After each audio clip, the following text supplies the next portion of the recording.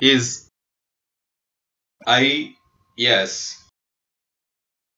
Is is third person singular present of be Agunnu is